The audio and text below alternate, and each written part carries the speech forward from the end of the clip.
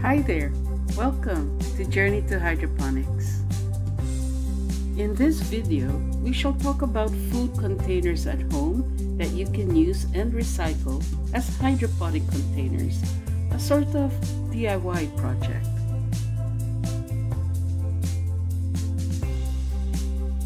Since I was interested in growing plants indoors or at home, which has limited space and sunshine, I decided to use the Kratky technique for hydroponics. It's the simplest method, great for indoor personal gardening.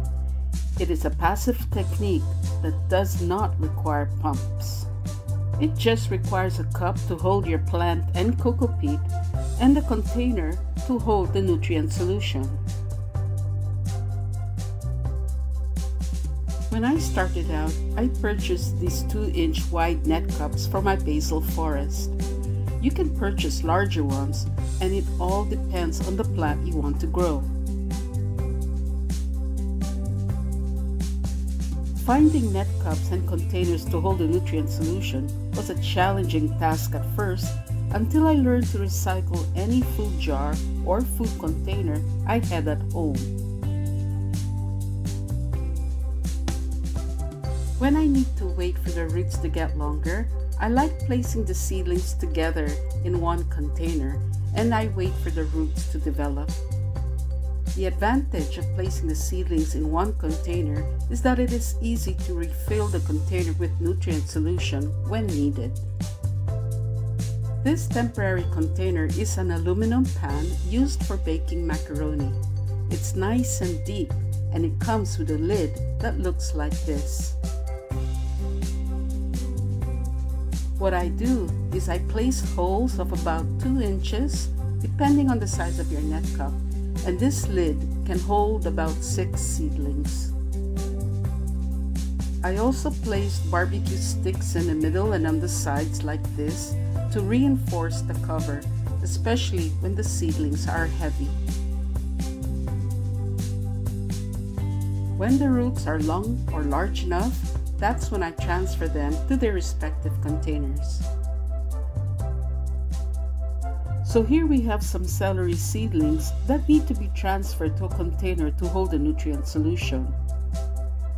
Here we have a jar that used to hold fruits.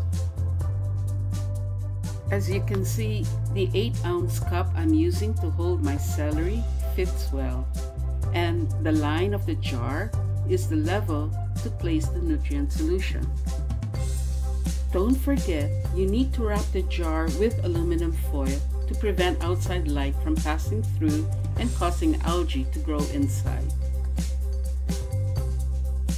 Another food container you can use is something like this peanut butter jar. The rim is too wide to hold my 8 ounce cup.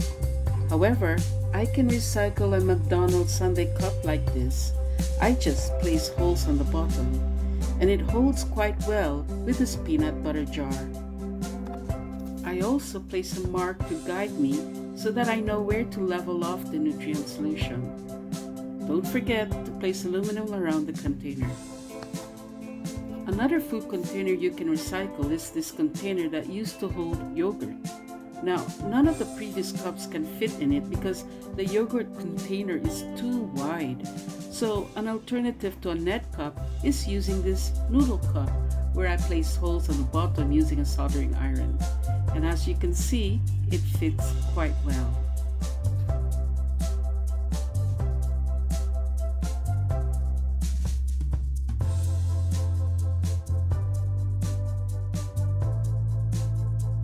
Another alternative to using this yogurt cup as a container is to get its lid and place a hole using scissors so that you can fit an 8 ounce net cup.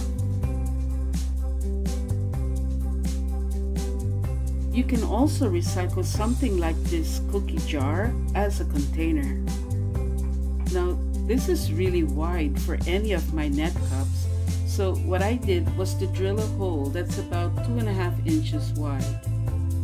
So now I can place in my 8 ounce cup or even use the McDonald's sundae cup.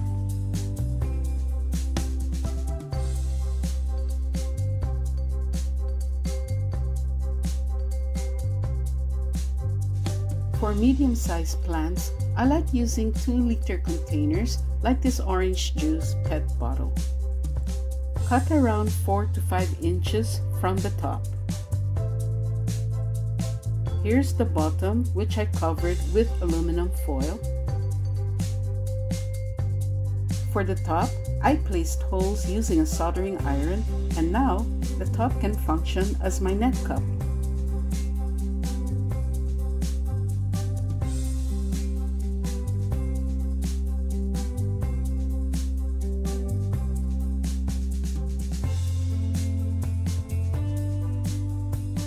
You can also recycle 2 liter soda PET bottles just like we did with the orange juice container.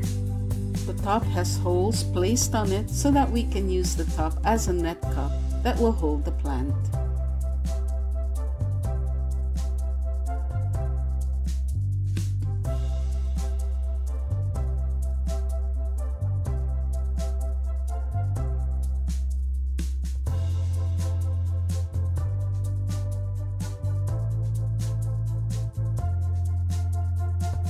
So this is alternative container. It's about a six liter that used to hold distilled water and I just cut it here on the edge to fit the net cup.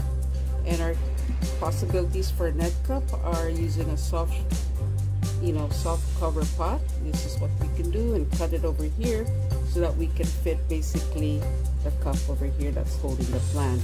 And as you can see, if I put it over here, its its diameter is enough to fit there. Um, another alternative is to use a microwave container, which in this example I placed a hole here so that I could um, place the, the plant in and then from here I'll place it here as my net cup.